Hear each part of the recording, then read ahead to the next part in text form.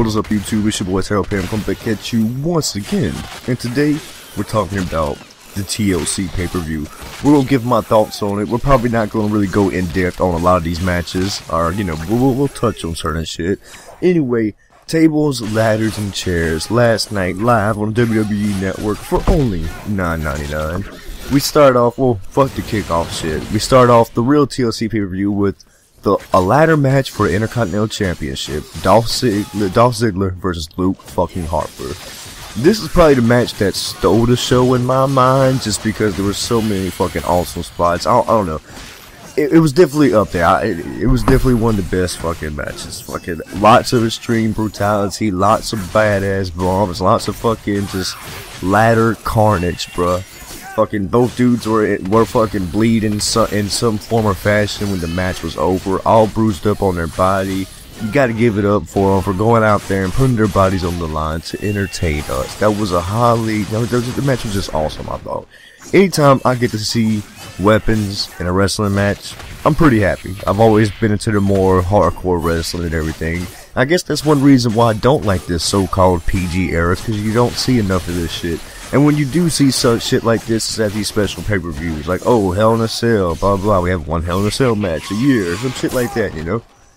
But, alright, so, Dolph Ziggler ends up winning and retaining his championship. Wasn't that his hometown as well?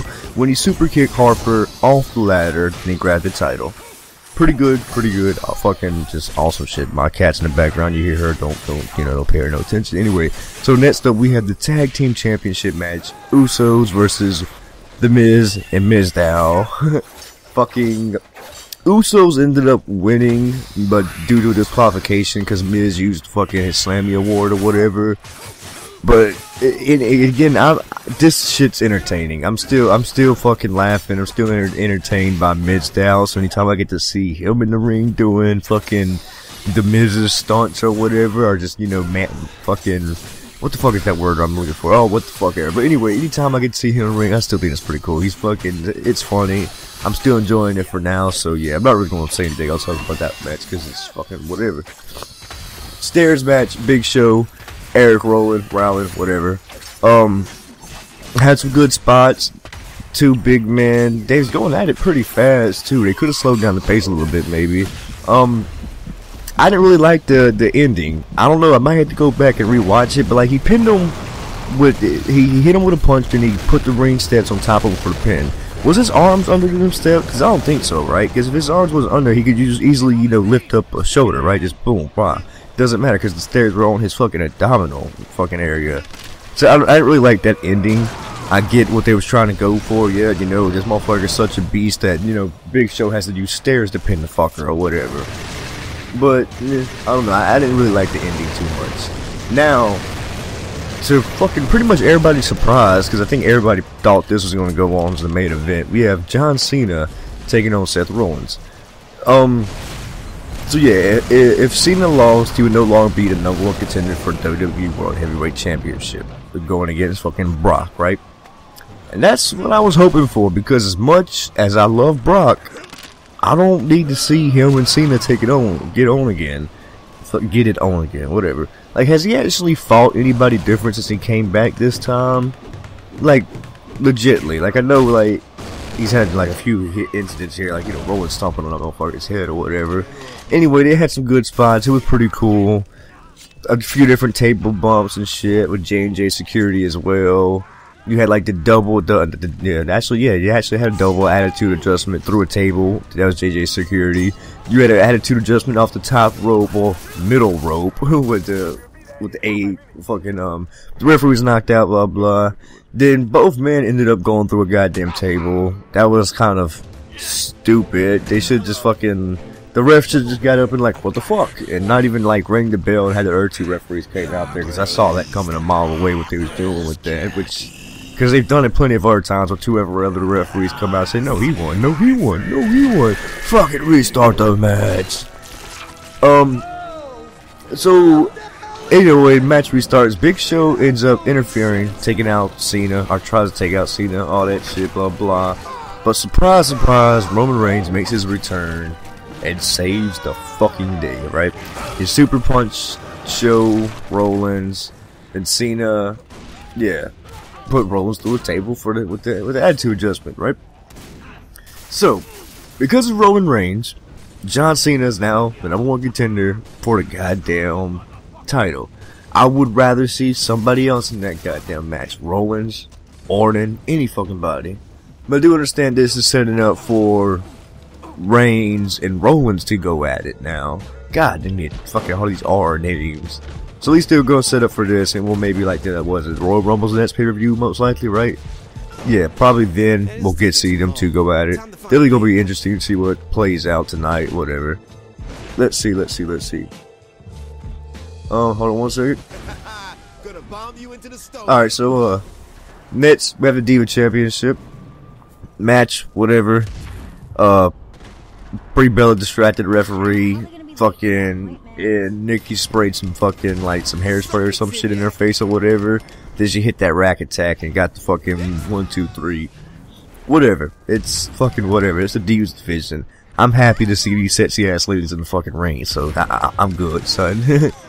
Next, we got chairs match.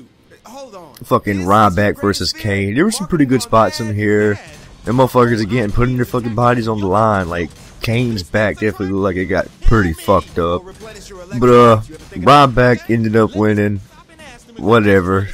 Eh. Another match, United States Championship, Jack Swagger versus fucking Rusev. And yeah, Swagger lost again. Like he's done all these other matches. What what what made any, nobody believe he was gonna win that fucking match? You already had him lose so many different times. It's a regular one-on-one match, right? It, it, like maybe he would have a chance, and maybe would have thought different and put it like a notice qualification or some shit, but no. Um, Lana, Lana, however you say her name, actually posted a picture on Twitter that got deleted real quickly. It was a picture of the European Championship. I could well this was what was going around the internet anyway. Hey, and if that's true, fucking right. Cause I can see that happening, like, oh, we don't want your puny American title, Tui, and fucking, that's like some Iron Sheik shit. But they didn't, they bring in the European one. I can see that fucking happening. But yeah, whatever. So TLC, the final match, the TLC match, Bray Wyatt versus Dean Ambrose. Definitely a good match. There's some awesome spots here, fucking there. Just like motherfucker jumping off the ladder, elbow through a table, doing it again. I think he jumped off, did like the ladder, what, three times, three, three different tables, either announcer's table or whatever. Good spots, good shit. But Bray Wyatt ended up picking up the win after he hit the sister. Well, he hit with the sister Abigail after fucking Ambrose tried to hit him with a goddamn TV that was plugged in right, and he pulled it and the TV fucking exploded. Now that sounds dumb as shit, right? It does. A lot of people weren't satisfied with that ending.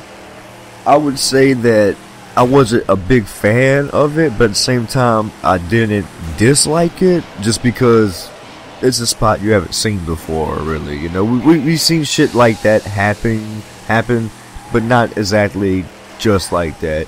You guys understand, everything in wrestling's been done once or another, so most fucking shit when you're a fan like me, you see coming and when he put the with the monitor in the ring and started looking at it, like I figured he was going to use it, but I didn't see. I didn't. I didn't did like. I, I, wasn't getting. I didn't think that he was going to. The motherfucker was going to explode on the motherfucker. You know.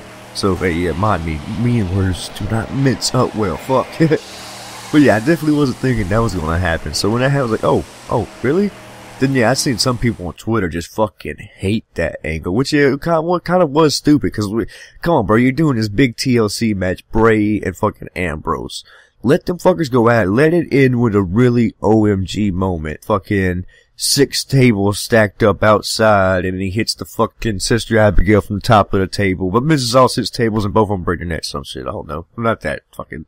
But you know, it could have been a better OMG moment to end that fucking match. The match of the night, Bray versus Ambrose. I really enjoyed it. They put these motherfuckers on last. They deserve to go last. The future is now.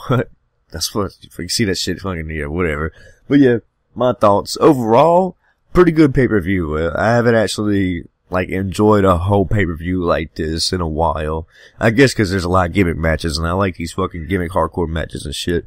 But yeah, I guess go ahead and like, you know, leave your thoughts about that shit in the comments. As always, hope you guys enjoy this. And me, I am out this bitch. Later, people. Motherfucker, now I'm here. What up, world? Legs in the sky when I'm up in your girl. Never said that I was a winner. I was more like a sinner who would cheat for a dinner in the middle of the winter. If it meant I could get on with summer, my bad. I'm just trying to be me. Hope y'all see when you see me on the TV or a city. And I'm nice like a heater, cause I write like a minute. I ain't trying to be a heater, but I flow like a heathen. Conceited and see me in hell. Me, I mean well. Get it? Water, hotter, hotter. Little bit of the sun and a love bit the father. Hey, Mr. G, I'm in love with your daughter. Ain't got a plan, but I got a lot of high.